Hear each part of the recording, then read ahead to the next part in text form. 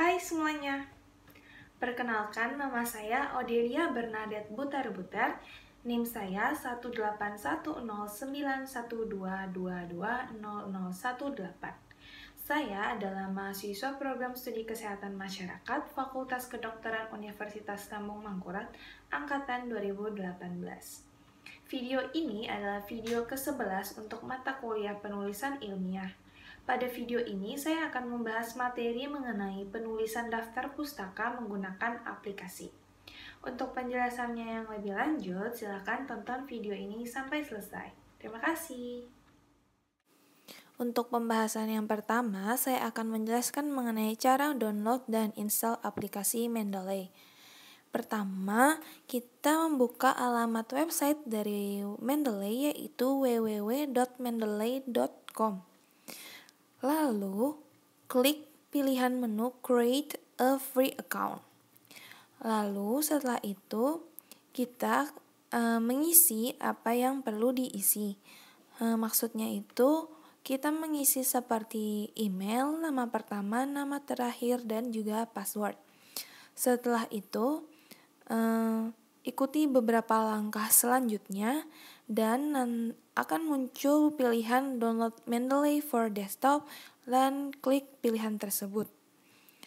Lalu setelah itu tunggu sampai proses downloadnya selesai, kemudian aplikasi pun dapat diinstal. Lalu yang kedua yaitu mengenai cara install dari aplikasi Mendeley. Pertama, eh, kita buka terlebih dahulu installer untuk aplikasi Mendeley tersebut yang telah di-download sebelumnya. Setelah itu, ikuti dan lakukan perintah yang ada e, seperti halnya dalam menginstal aplikasi-aplikasi lainnya. Lalu, tunggu sampai proses penginstalan selesai dan aplikasi pun dapat digunakan. Nah, sebelum masuk pada materi mengenai cara membuat daftar pustaka menggunakan aplikasi, saya akan menjelaskan terlebih dahulu apa itu sitasi dan daftar pustaka.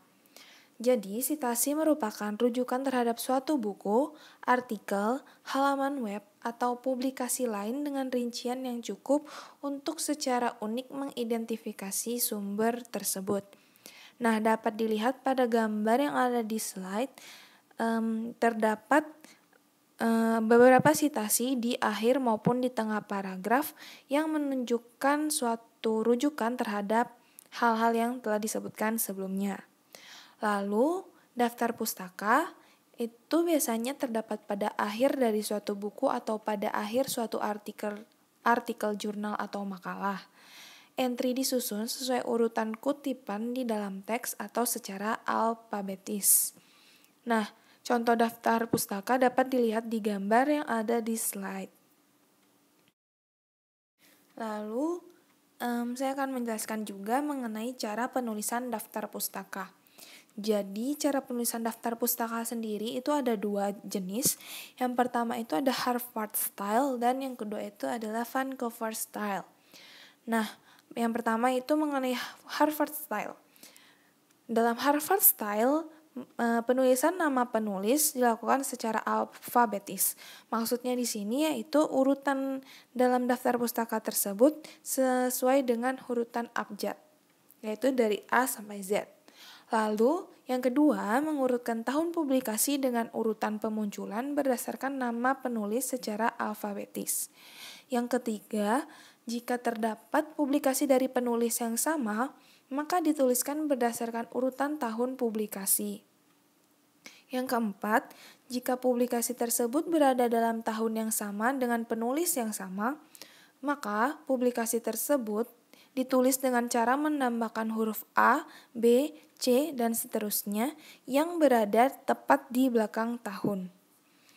Dan yang kelima, proses penulisan tersebut proses penulisan dalam poin 4 juga berlaku ketika menuliskan citasi dalam naskah tulisan.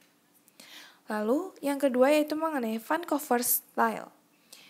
Um, pada Vancouver style biasanya menggunakan bulat angka. Lalu yang kedua, angka tersebut menjadi rujukan dalam citasi sebuah karya tulis yang dibuat. Yang ketiga, nomor rujukan atau referensi yang ada di dalam karya tulis itu harus sama dengan urutan penulis yang ada di dalam daftar pustaka. Yang keempat, tidak perlu mengurutkan tahun publikasi tulisan. Dan yang kelima, nama tidak perlu diurutkan berdasarkan alfabetis. Nah, di sini saya akan menjelaskan mengenai cara membuat citasi dan daftar pustaka menggunakan aplikasi EndNote. Jadi EndNote adalah paket perangkat lunak manajemen referensi komersial yang digunakan untuk mengelola bibliografi atau daftar pustaka dan referensi saat menulis esai atau artikel. Nah, gambar yang di dalam slide tersebut merupakan tampilan awal jika kita membuka aplikasi EndNote. Nah, di sini saya akan menjelaskan cara membuat daftar pustaka dan citasi menggunakan aplikasi EndNote. Yang pertama yang harus kita lakukan adalah membuat file baru.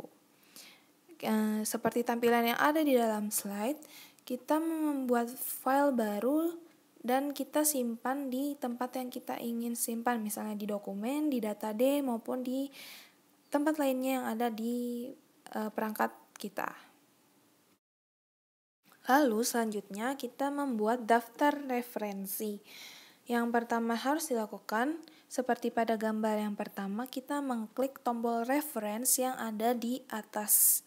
Lalu setelah itu akan muncul kotak dialog seperti gambar dan kita klik kanan lalu pilih menu New Reference yang terdapat pada gambar yang kedua. Setelah memilih e, untuk membuat daftar referensi baru yaitu dengan mengklik New Reference, maka akan muncul kotak dialog seperti yang ada di foto yang pertama atau gambar yang pertama dan di situ dapat kita pilih uh, tipe referensi yang akan kita masukkan daftar pustakanya.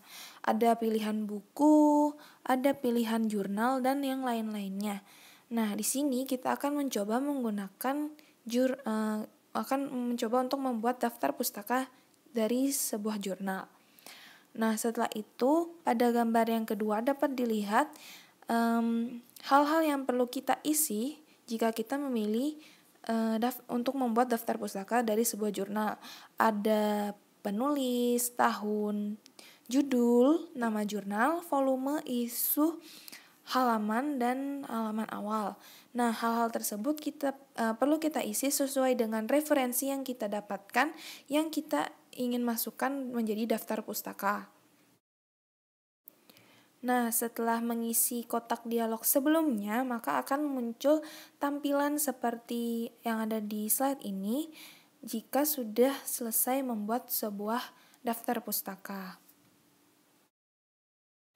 Nah, hal yang perlu kita lakukan selanjutnya adalah mengatur cara penulisan dari daftar pustaka. Di gambar tersebut terdapat pilihan annotate Nah, di situ dapat kita pilih kita mau meng, um, menyusun daftar pustaka tersebut uh, sesuai style apa, misalnya dengan Harvard ataupun Vancouver. Setelah mengatur cara penulisan, yang perlu kita lakukan selanjutnya adalah mensinkronisasikan EndNote ke file Word yang kita buat.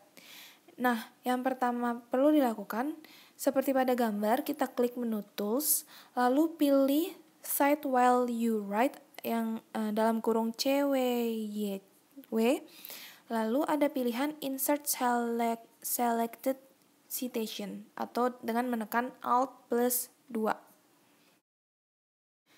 Setelah mensinkronisasikan EndNote ke file Word, maka tampilan EndNote uh, di Word pun akan menjadi seperti yang ada di gambar. Nah, begitulah cara membuat daftar pustaka menggunakan aplikasi EndNote. Nah, itulah pembahasan dari materi penulisan daftar pustaka menggunakan aplikasi yang dapat saya sampaikan. Semoga materi yang saya sampaikan dapat bermanfaat bagi diri saya sendiri dan juga bagi teman-teman. Um, mohon maaf juga bila terdapat kesalahan dalam perkataan maupun kekurangan dalam video ini. Terima kasih telah menonton dan sampai ketemu di video yang selanjutnya. Dah.